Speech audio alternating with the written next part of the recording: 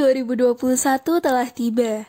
Momentum tahun baru sering kali menjadi ajang untuk memperbaiki diri hingga memulai kebiasaan baru. Apa yang bisa dilakukan oleh pemirsa untuk menyambut tahun 2021 yang lebih terencana dan tidak stressful? Journaling atau menuliskan segala sesuatu melalui jurnal bisa menjadi salah satu alternatif. Para pegiatnya dapat disebut dengan journalers. Journaling bisa melibatkan berbagai sub kegiatan, di antaranya planning, to-do list, hingga mencurahkan isi hati layaknya diary. Journalers juga dapat membuat halaman khusus untuk berkreasi tentang hal-hal yang ia sukai. Saras adalah salah satu journalers yang melakukan journaling sejak tahun 2016. Dari kayak menurut pendapat aku, kalau misalnya journaling itu lebih ke menuliskan apa yang ada di pikiran kita, apa yang ada dalam hati kita, tapi tanpa batasan, tanpa ada ketentuan, tanpa adanya benar salah. Kalau menurut aku sih kayak gitu. Jadi sebebas-bebasnya kita aja gitu. Kegiatan ini sebaiknya dibiasakan dan dilakukan setiap hari. Setelah terbiasa, pengguna dapat merasakan jadwal yang lebih teratur, bekerja secara produktif, dan psikologis yang lebih terjaga. Saras memaparkan manfaat yang ia dapatkan melalui kebiasaan journaling. Uh, aku lebih uh, jadi lebih sering untuk kayak duduk dan mulai kayak organize my life gitu kayak misalnya uh, di hari Minggu aku nge-organize untuk kehidupan aku di minggu depannya di Senin sampai Jumat di minggu depannya kayak gitu.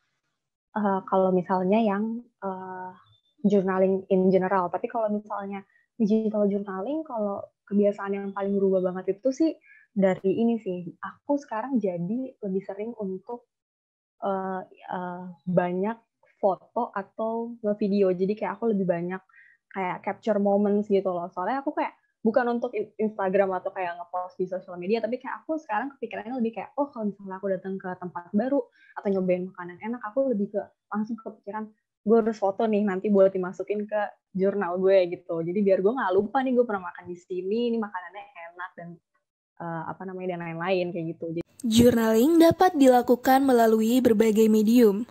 Umumnya, journaling dilakukan dalam buku jurnal berbentuk kertas. Di atasnya, journalers dapat berkreasi menggunakan lettering alias menulis dengan gaya. Selain itu, pemirsa bisa menambahkan foto, stiker, hingga glitter untuk mempercantik jurnal.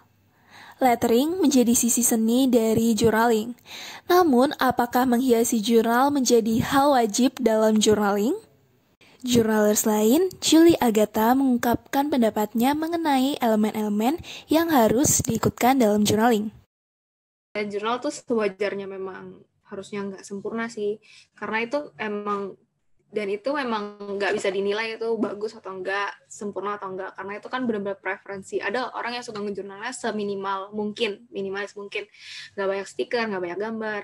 Ada yang sukanya rame gitu. Jadi kayak emang beda-beda aja. Karena menurutku fungsi jurnal ya emang sebenarnya itu untuk internal, untuk diri sendiri. Selain melalui jurnal tradisional, ternyata journaling dapat dilakukan pula melalui gadget. Julie Agatha sendiri adalah salah satu pegiatnya. Ia beralasan journaling digital memberikan kelebihan yang tak didapatkan melalui penulisan jurnal biasa. Ya, jadi kalau digital jurnal itu enaknya kamu mau gambar apa, kamu bisa ada. Jadi kalau misalkan yang kertas itu kayaknya ibaratnya kamu mesti punya washi tape tertentu, kamu harus beli dulu di gambar tertentu yang kamu mau. Kamu perlu beli stem tertentu yang kamu mau. Pen, spidol itu tiap-tiap itu pasti beda. Dan kalau misalkan di digital itu, kamu nggak harus beli ibaratnya. Kamu bisa bikin di Procreate. Kalau misalkan jago gambar, bisa bikin di Procreate. Atau mungkin um, bisa aja lihat orang-orang kan banyak orang yang di YouTube juga share mereka bikin stiker, mereka bikin washi tape itu kamu bisa pakai dan bisa aplikasiin ke digital platform atau digital jurnal kamu.